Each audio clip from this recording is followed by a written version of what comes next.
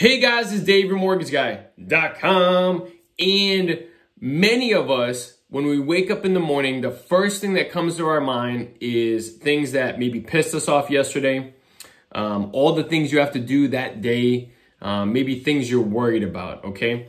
So I dealt with this myself. Um, I would worry about all the things I have to do that day, right? That's not healthy. That's not a good start to your day. So I came up with a trick um, that I started to do that greatly changed it for me, which is immediately when I wake up and those thoughts come into my head about the day, crap that's going on, whatever is stressing me out, I automatically think very quickly of three things I'm super thankful for, right? Um, thankful that for my job and for family and for the opportunities and the weather and whatever it is. You can get it, be thankful that it's Friday. You can be grateful for whatever.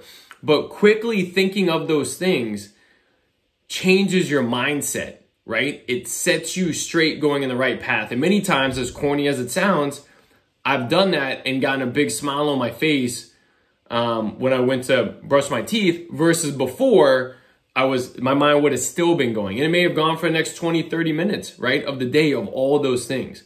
Okay. So when you wake up, immediately if your mind goes to negativity, things you're mad about, stuff you have to deal with, crap that happened yesterday, quickly, so very quickly, think of three things that you're grateful for, and it's going to greatly change your morning and get you back on track. All right? Call or email me if you need anything. Comment down below, and if you find my videos helpful, I'd love to be your lender. Thanks, guys.